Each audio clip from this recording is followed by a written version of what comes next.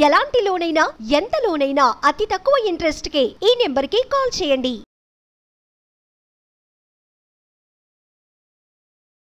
నమస్తే మేడం. నమస్తే అమ్మా. కుంభరాశి వారికి అసలు ఏ విధంగా ఉండబోతుంది? ఎటువంటి పరిహారాలు పాటించాలి అంటారు? ఈ సంవత్సరంలో శోభకృత నవ సంవత్సరంలో మన కుంభరాశి వారికి కనుక చూస్తే వీరు కూడా ఏళ్ళనాడు శని ప్రభావంలోనే ఉన్నారు. ఆ, దాంతోపాటు మనకి ఇక్కడ గురువు గారి మార్పు కూడా ఉంది. అయితే గురువు గారు మారుతూ ఆయన ఏం చేస్తున్నారంటే చక్కగా రాహుతో పాటు కూర్చుంటున్నారు. కాబట్టి ఇక్కడ ప్రాబ్లమ్స్ ఉంటాయి. ప్రాబ్లమ్స్ అసలు ఏమీ ఉండవు. చాలా హ్యాపీగా ఉంటారు అని చెప్పడానికి లేదు. కానీ రెండు విషయాలను మనం మనసులో పెట్టుకోవాలి. ఓకే. ఒకటి ఏంటి అని అంటే ఎప్పుడైనా ఒక ప్రాబ్లం వస్తే దానికి రిలీఫ్ కూడా మనకి ఏదో ఒక రకంగా కనపడుతుంది. ఓకేనా? సో ఇప్పుడు సపోజ్ పెళ్ళి సంబంధాలే చూసుకుంటున్నాం. పెళ్ళి చేసుకోవాలన్న ప్రయత్నం చాలా చక్కగా ఈ రాశి వారిలో కనపడుతోంది. అలాగే సంబంధాలు కూడా చూసుకుంటారు. ఎక్కడెక్కడ సంబంధాలో చూస్తాం. మనకి నచ్చినవి రాకపోవచ్చు కుదరకపోవచ్చు.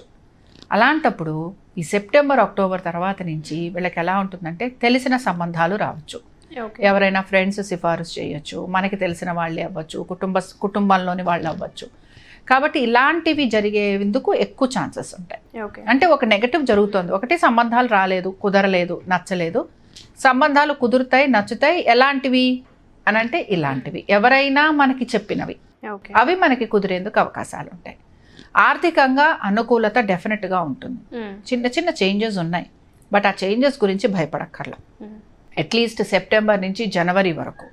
ఆర్థికంగా అనుకూలత వృత్తిపరంగా అనుకూలత అన్ని విషయాలలోనూ మాట తీరులో అనుకూలత ప్రవర్తనలో అనుకూలత ఆరోగ్యపరంగా అనుకూలత. అట్లా ఏంటంటే మనం ఏది కోరుకుంటున్నామో ఎలాంటి జీవితం కావాలని కోరుకుంటున్నామో అలాంటివన్నీ కూడా సెప్టెంబర్ నుంచి అనుకూలంగా ఉంటాయి.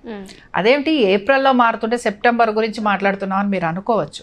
ఇక్కడ మార్పు రాహుతోటి ఉన్నప్పుడు ఏమైపోతూ ఉంటుందంటే ఇందాక నేను చెప్పాను చూసారా? చూస్తున్నాము కానీ ఏవి అనుకూలించట్లా. అందరూ స్నేహితులే కానీ ఎవరు మనకి ఇబ్బంది పడుతున్నారో తెలియట్లేదు. పనులన్నీ చేస్తున్నాం కానీ ఏ పని అవ్వటం లేదు. ఇలాంటి ఆలోచనలు ఇలాంటివన్నీ మనకి ఏప్రిల్ నుంచి సెప్టెంబర్ వరకు ఉంటాయి. లేకపోతే అక్టోబర్ నవంబర్ వరకు ఉంటాయని కూడా చెప్పుకోవచ్చు. ఆ తర్వాత నుంచి అనుకూలంగా ఉందన్నమాట. అందుకని నేను అలా చెప్పడం జరిగింది. కాబట్టి ఏప్రిల్ నుంచి అక్టోబర్ వరకు ఉద్యోగ వ్యాపారాలలో తీసుకున్న మార్పులు కానీ చేర్పులు కానీ చేరుతున్న ఉద్యోగాలే కానీ అవి అంత హ్యాపీనెస్ని ఇవ్వవు. ఓకే. అండ్ డెఫినెట్గా మనం ఉంటున్న చోటు నుంచి వేరే చోట్లే వెళ్ళకొస్తాయి. అలాగే కొంతవరకు దోషాలు ఉంటాయి. వాళ్ళ జాతకంలో కూడా మనం గమనిస్తే కొన్ని రకాల పితృదోషాలు ఉండే అవకాశాలు ఉన్నాయి. కాబట్టి వీళ్ళ జాతక పరంగా పితృదోషాలు ఉన్నా అది కూడా ఇక్కడ మనకి ఈ ట్రాన్సిట్లో గనక కలిస్తే ఈ గోచారాల్లో కలిస్తే వాళ్ళందరూ కూడా పితృదోష పరిహారాలు చేయించుకోవాలి. ఓకే.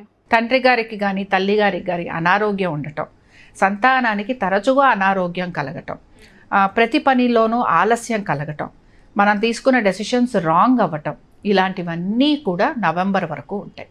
కాబట్టి నవంబర్ లోపల వీళ్ళు చేయాల్సిన పరిహారాలలో ముఖ్యంగా ఇప్పుడు నేను చెప్పింది పితృదోష పరిహారం. ఓకే. సో ఈ పరిహారాన్ని అసలు ఏ విధంగా చేయాలి అంటారు పితృదోష పరిహారానికి వాళ్ళ జాతకంలో ఉన్నప్పుడు మంచి రోజు అది తీసుకొని పితృదోషానికి సంబంధించి పరిహారాలు చేస్తాము.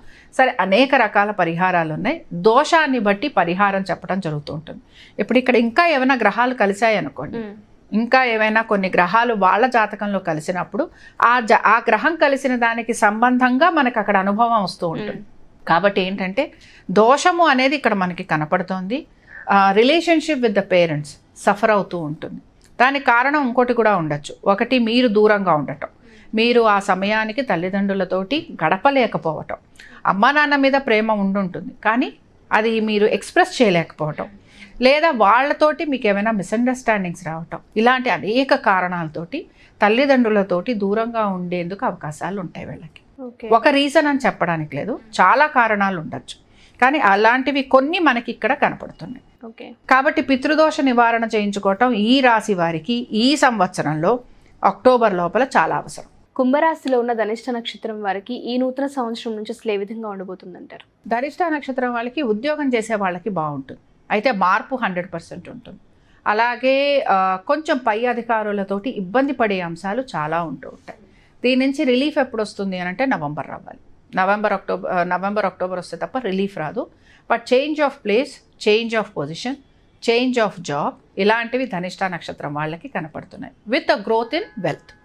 అంటే ఆర్థికమైన అనుకూలతతో పాటు ఈ చిన్న చిన్న మార్పులు కూడా ధనిష్ట నక్షత్రం వారికి చూడొచ్చు. ఓకే. కానీ మకర రాశి వారు ధనిష్టా నక్షత్రంలో పుట్టినవారు ఎప్పుడూ కూడా వారి ఆరోగ్యం గురించి జాగ్రత్త తీసుకోవాలి. వీళ్ళు ఎక్కువ యాక్సిడెంట్ ప్రోన్ అవుతూ ఉంటారు. అందుకని తరచుగా అనారోగ్యం కలగటం తరచుగా మందులు వాడటం తరచుగా హాస్పిటల్స్కి వెళ్ళాల్సి రావటం తరచుగా రక్తం చూడటం ఏదో ఒక దెబ్బ కొట్టుకుంటారు. కాబట్టి ఇలాంటివి వీళ్ళకి కొంచెం తరచుగా జరుగుతూ ఉంటాయి కనుక వీరు మాత్రం వాళ్ళ ఒక నడుస్తున్న దశ ఏమిటి? వాళ్ళ జాతకంలో. అలాగే వాళ్ళకి నడుస్తున్న ఇబ్- ట్రాన్సిట్ ఏమిటి? వాళ్ళకి నడుస్తున్న గోచారం అంటే వాళ్ళ జాతకంలో ఏ విధంగా ఉంది? యాక్సిడెంట్ ప్రోన్ అయితే ఎటువంటి పరిహారం చేయాలి? ఇప్పుడు యాక్సిడెంట్ ప్రోన్ అవుతారు. సాధారణంగా యాక్సిడెంట్స్ తరచుగా జరుగుతున్న వారికి మనము ఎప్పుడూ కూడా రక్తదానం చెప్తాం రక్తదానం చేయటం. లేదు అని అంటే పంచముఖాంజనేయ స్వామి వారిని దర్శనం చేసుకోవటం. నరసింహస్వామి వారిని దర్శనం చేసుకోవటం. వీళ్ళకి కొంచెం అప్పుడప్పుడు ముఖ్యంగా ఈ గురు రాహుతో ఉన్నప్పుడు నవంబర్ వరకు కొంచెం వీళ్ళకి నెగటివ్ ఎనర్జీ ఎక్కువగా అట్రాక్ట్ చేస్తూ ఉంటుంది. తరచుగా వీళ్ళకి కొన్ని పీడకళలు వస్తూ ఉంటాయి. అలాగే కొంచెం భయభ్రాంతులకి గురవుతూ ఉంటారు. కొంచెం నెగటివ్ ఇంట్యూషన్ అనేది ఎక్కువగా పనిచేస్తూ ఉంటుంది. నెగటివ్గా అనుకున్న పనులు జరిగిపోతూ ఉంటాయి. అందుకని ఏంటంటే అలాంటి నెగటివ్ థాట్స్ వచ్చినప్పుడు కొంచెం ఆ నెగటివ్ థింకింగ్లోకి వెళ్ళకుండా కొంచెం జాగ్రత్త తీసుకోవాలి. ఓకే. పీస్ ఆఫ్ మైండ్ కోసం. ఎందుకంటే కొంత మిస్కమ్యూనికేషన్స్ ఎక్కువగా ఉన్నాయి కాబట్టి ఏం చేస్తే మంచిది అంటారు? ఇంట్లో ఉండి దానాలు కానివ్వండి లేకపోతే మనం ఎక్కువ అష్టోత్తరాలు చెప్తుంటాం జపాలు చెప్తుంటాం కాబట్టి ఏం చేస్తే మంచిది అంటారు? అమ్మ ఇది ఒక గురువు గారిని సంపాదించుకోవాలమ్మా. మన జాతక చక్రాల్లో కొంతమందికి గురువులే వచ్చి చెప్తూ ఉంటారు. ఇప్పుడు రామకృష్ణ పరమహంస గారి యొక్క జీవిత కథను మనం చదివినా విన్నా ఆయన దగ్గరికే ఆయన సాధనకి ఎంతో మంది గురువులు వచ్చి ఆయనకి చెప్పటం జరిగింది. కొన్ని కొన్ని సందర్భాల్లో గురువులు మన దగ్గరికి రారు. మనమే గురువుల దగ్గరికి వెళ్ళాలి. ఒక మంచి గురువు గారిని సంపాదించుకోవాలి. ఈ రాశి వాళ్ళు. సంపాదించుకోవడం అంటే ఇప్పుడు ఉన్న వాటిల్లో కరెక్ట్గా మనని గైడ్ చేసేవాళ్ళు ఎవరు? మన మనసును ఎరిగి మనం వెళుతున్న దారి కరెక్టా కాదా అని చెప్పి ఒక గురువు గారు మనకి కావాలి. సో ఆ గురువు గారు ఎప్పుడైతే మనకి దొరుకుతారో ఆటోమేటిక్గా మనం పడుతున్న ఇబ్బందుల నుంచి బయటికి రాగలం. సో గురు ధ్యానం చేయటం. గురు దర్శనం చేసుకోవటం గురువు గారిని సంపాదించుకోవటం గురువు చెప్పే ఉపదేశ మంత్రాన్ని స్వీకరించటం. ఇది ఏళ్ళనాటి శననే కాదు కుంభరాశి వారు చాలా బాగా చేయగలరు. కుంభం అంటేనే చాలా గుప్తంగా ఉంటారు. కాబట్టి ఆ రాశి వారిలో ఉన్న గొప్పతనం అది. వాళ్ళు ఏంటంటే సీక్రెట్స్ని బాగా దాచగలరు. సో నువ్వు ఎప్పుడైతే సీక్రెట్ దాచగలవో నీ ఆచరణకి కూడా నువ్వు అంత బాగా దాన్ని పట్టుకోగలవు. కాబట్టి ఏంటంటే ఒక మంచి గురువు గారిని పెట్టుకోవడం. గురువు గారు చెప్పిన విధంగా నడుచుకోవటం. మంచి పనులలో ఆసక్తి చూపించటం. నా జీవితం ఇలా అయిపోయిందేంటి ఇలా అయిపోయింది ఏంటి అని అనక్కల్లా మనిషి ఒక్కడే ఏ ఇబ్బంది వచ్చినా ఏ కష్టం వచ్చినా తట్టుకుని నిలబడేవాడు ఆ మనిషి ఒక్కడే. కాబట్టి ఆ మనిషి ఎప్పుడు కూడా నిరాశ చెందకూడదు. లాస్ అయిపోయాను లాస్ అయిపోయాను అంటే నువ్వు ఎన్నిసార్లు నెగటివ్ లాస్ అంటావో నీకు లాసే జరుగుతుంది కానీ ప్రాఫిట్ రాదు. సో ప్రాఫిట్ రావాలి అని కోరుకోవాలి. పాజిటివ్ మైండ్ కలిగి ఉండాలి. ఇప్పుడు మనం మేనిఫెస్ట్ మేనిఫెస్ట్ అంటుంటామే. సేమ్ ఇదనమాట. కాన్సెప్ట్ సేమ్ మేనిఫెస్టేషన్ ఏదైనా జరగాలి అని అంటే నువ్వు ముందర పాజిటివ్గా ఉండు. పాజిటివ్ ఎనర్జీని తీసుకో.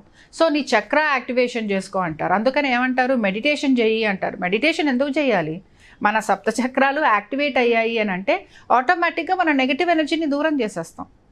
అది ఈ రాశి వారు ఫాలో అవ్వాలి. Thank you ma'am thank you so much నమస్తే.